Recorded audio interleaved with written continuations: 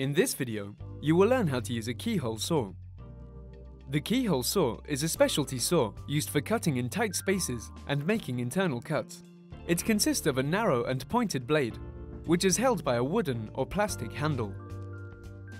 The two key steps are drilling holes and sawing the mortise. Step 1. Drilling holes. To make a through mortise, start by punching drill points at either end of the mortise. Drill a hole through the workpiece at both ends. Clean up the ends of the mortise and square the corners using a chisel and mallet. Step 2. Sawing the mortise. Clamp the workpiece as shown to saw between the drilled holes. Hold the saw with your dominant hand.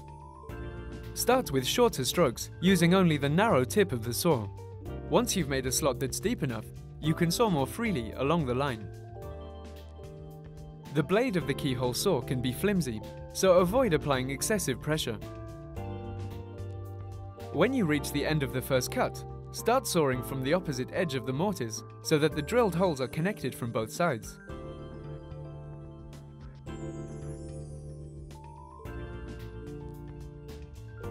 You now know how to use a keyhole saw